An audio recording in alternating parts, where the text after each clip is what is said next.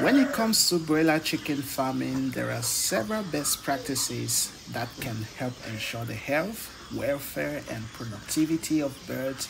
Now, here are some key considerations okay? Now if you're new to FarmAfric you're welcome. Here we talk about everything farming broiler birds for meat consumption these guys are like day 35 36 they are already at 1.6 1.7 kilograms which is just absolutely amazing. But when you take a very keen look at them you will observe some discrepancies uh, according to concerning their growth. Uh, a few of them are a bit smaller that is because we fail to achieve uh, uniformity. That uniformity is as a result of so many aspects which we are going to be talking about in this video. Uh, don't forget to like, comment, and then subscribe share this video with other friends to other social platforms you are helping our channel to grow guys while we bring you relevant contents like these to apply them to your own farming experience and then grow your business rapidly. Let's talk about uh, best practice number one housing and space okay? Again this is very important. Housing and space. Provide adequate housing facilities that protect the birds from extreme weather conditions and predators okay guys now the space allocation should adhere to recommended industrial standards allowing a sufficient room for the birds to move, stretch their wings, and then exhibit natural behaviors. Now, when you look at this bird just now, I can tell you that they are flexible enough to move, spread their wings, and then to exhibit human behavior. Uh, most of the times, I just come and then stand and look at them when the place is airy during the evenings. When we have this breeze, you will see them running, flying, and then just just exhibiting those uh, natural uh, behaviors and it really gladdens my heart to see them behave that way. That is as a result of proper housing and space okay? We have these guys on top. These guys are no less than 2.53 kilos to 3.5 kilos for special order okay? And then by my right hand here we also have another batch of like 1400 birds these guys are 23 24 days old already and you can see them. They are looking awesome and they are doing amazingly well. Okay guys let's talk about a best practice number two ventilation okay? Now you want to maintain proper ventilation within the poultry house to ensure good air quality. Now, temperature control and moisture management, proper ventilation helps prevent respiratory issues and then reduces the risk of disease transmission. If you fail to provide proper ventilation, uh, their beds are going to uh, contact these respiratory diseases very easily because the air may come in and then has no uh, out outlet and in so doing it means that your birds are going to be prone to respiratory issues. Looking at them just now you can see the window by my right here. It is widely open for ventilation purposes okay? And then you see the guys up as well. Before we had these uh, upstairs this banda by the side but then it was too much closer to the roof and these birds were very hot but this time around we brought it uh, at the center of the pen because we have a V-shaped roof. Now they are just looking fine all of that is to uh, maintain proper and adequate ventilation okay? Let me just take you around while you we continue to go through the various uh, key practices. You can see how they are looking but if you look at them keenly you can see that they are a little choked up right there so we are going to be adding up their space. That is one thing which is just awesome. Now under and beneath this upstairs we have 400 birds which we are currently heating okay? We use this space under to heat our bed. Natural heating we don't spend on firewood we don't spend on heating bulbs and so on and so forth guys because the plastic by the side and the tarpaulin provide us with adequate heat enough sufficient to heat our beds up okay from day old right up to day 21 guys. And you can see these guys doing extremely well they are doing awesome guys. Look at them guys. Now let me take you on top. Let me take you on top of there the, the banda like we call it in our local language so that you can see there the older birds. These are special other special commands because during this festive moment a lot of farmers they keep uh, they, they, they, they, they take they keep some few number of birds to this uh, to this weight so that they can sell them a bit more exp eh, expensive yeah higher. And then some other buyers come with their own command please you're gonna keep me birds for like three kilo 3.5 kilos. You arrange on the price and then you keep the birds for them till when they get to that kilogram. So these are special orders and they have started removing them as we speak guys as we speak they have started removing these birds and buying them already. I'm gonna show you how they look like by now guys. So you can see how these guys are looking. When you see them marked just now it means they are ready to go for marketing. They are ready to be consumed to be taken out you can see how big they are looking. I weigh one guys. It is very heavy. They are very very heavy guys. Look at them sitting out and waiting for their vehicle to come guys. So these guys were special command just like i told you guys. So you want to do the same thing especially during festive moment. If you have space in your farm then remove like 100 or 200 birds that you can keep to like 3.5 kilograms. You are going to really be selling them much more higher much more expensive guys. But only if you have the feed to continue feeding them right? So we are doing just awesome. This is the first time we have this huge number of birds at the same time in the farm guys. But you don't want to try this you don't want to house more than one batch under one roof if you don't have the expertise if you don't have the expertise to handle the disease controls, the managerial practices, and other aspects, guys, don't try this because I tried this, uh, I think a few months back. I lost like 1,000 birds when the farm was attacked, guys. So you want to start with only one batch at the same time uh, until maturity, until marketing before you take another batch. For but for us, we know how to go along with the disease control, biosecurity measures, and then the managerial practices to achieve the success on different badges, housing different badges at the same roof.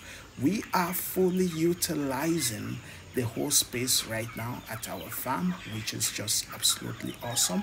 The reason for these huge flocks also is because it is festive period, and during this festive period, of course, there's gonna be scarcity right out there between Christmas and then New Year. There's going to be scarcity, so we choose to want to win the customers to let to to have them coming back for us, guys. so let's talk about lighting. Implement appropriate lighting systems to promote normal growth and development of the birds okay now a consistent lighting schedule helps regulate their activity level and can influence their feeding behavior. Did you hear that? A consistent lighting shadow helps regulate their activity levels. Now during dark guys these birds don't feed. They can't do anything they just sleep. So if you come from a place where you have a constant uh, lighting failure, you can see also the drinking system. We have there it on the floor. You can see how dirty it's looking because it is not high enough for them. So as they grow in age, what we do is we lift their drinkers up. By this time, we are still operating at a manual system, but we are working on automated system versus this one, which is up you see them they have to stretch their neck to drink which also promote some growth okay? Studies have shown that it promotes some growth when they have to stretch to drink stretch to feed okay? It also helps them uh, uh, their metabolism systems to their, their immune systems to get stronger because they are stretching a lot guys. So you want to make sure that you have that right for the lighting guys i'm gonna come back to talk about the drinkers the feeders and stuffs like that. Let's talk about biosecurity. Now develop and enforce strict biosecurity protocols to prevent the introduction and spread of diseases these include measures such as controlling visitor access, disinfecting equipment and vehicles, and practicing good hygiene practices. Okay, now you can see what we have done just now. We have added their space. Okay, see what is going on just now. If you're not keen enough, some birds can die. This is accident. Accidents do happen, so that is why you want to be around, guys. You want to be present, guys. These guys need you around for a regular regular checkup on them okay? So we have added the room we have expanded them so that they should have free space enough to flex around and then to breathe freely guys it is what it is. You can see how they are seated and they are doing just fine. As they grow older the place becomes smaller and then we have to expand. Okay guys? So let's talk about feed and water okay? Provide high quality nutritionally balanced feed that meets the specific nutrient requirements for broiler chickens at each stage of growth at each stage of growth okay? Taking me to that we have three different classes of feed. Even four okay? We have a pre-starter we have a starter we have the grower and then we have the finisher okay? You want to check uh, my videos. I have a, a detailed video that explains about feeding and how you can even formulate your own feed okay guys? So at each stage of their growth they have specific feed okay? Now you want to make sure you ensure a constant supply of clean fresh water to keep the birds hydrated and facilitate proper digestion okay? Which is just absolutely very important. Let's talk about health monitoring. Regularly monitor the health of the birds and properly address any signs of illness or diseases. Now, work closely with a veterinarian to develop a comprehensive vaccination program and implement appropriate disease prevention measures, guys. So, these guys have very adequate spacing facility right here. You can see them, their space is just enough for them to uh, uh, uh, uh adhere to the best practices that talked about uh, stocking density, guys. That takes me to the stocking density point, which is point number seven. Best practice number seven, if you have been following so far, you can see the guys up. They are looking good.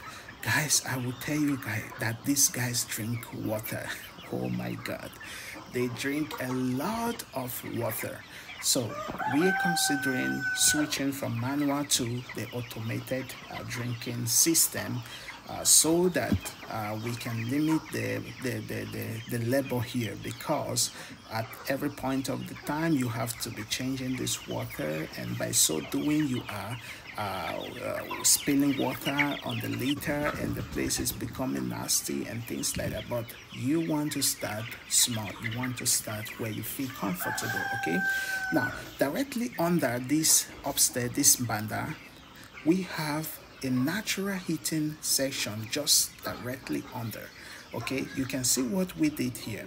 Now with the plastic and the tarpaulin at both sides and then the up uh, rightly down I can't even walk straight here. I'm bending uh, I have to bend to to walk inside okay? But in here we can heat 1500 to 2000 birds at a certain time okay okay which is just natural. So we don't have to spend money on uh, firewood. We don't have to spend money on heating lamps heating bulbs and things like that. These tarpaulins provide us with natural heating which has really saved us a lot of money if we had to be buying firewood and things like that guys which is just absolutely awesome okay? So stocking density avoid overcrowding by maintaining appropriate stocking density. Overcrowding can lead to stress, poor welfare, and increased uh, uh, disease spread you want to adhere to industrial guidelines regarding the number of beds per square meter okay? Regarding the number of beds per square meter you want to adhere to that. Don't overstock them. Remember if you do that you are going to be causing so much more issues. Let's talk about number eight litter management okay? Properly manage their litter material inside the poultry house regularly clean and replace solid litter to maintain a dry and comfortable a dry and comfortable environment for the birds. Adequate litter management help prevent growth help prevent uh, the growth of harmful bacteria and then reduce the risk of uh, top food and other parasites in the farm okay? Now i have these guys outside here these look local. Actually they are uh, an advanced uh, breed for the local birds. We call them pantalons we call them the big legs. In here I have big cocks of like 3.5 kilograms, which is just absolutely looking awesome. Uh, these guys, I'm going to be using them for my Christmas gift, my Christmas uh, festivals for some friends, some some some uh, friends around, and uh, some top rankings and, and, and stuffs like that. Okay, uh, animal welfare is another point which you want to take into consideration, and then lastly, record keepings for your business. Okay it's important to note that these best practices are general guidelines only guys. You want to keep following our channel to learn more on how you can implement these best strategies into your business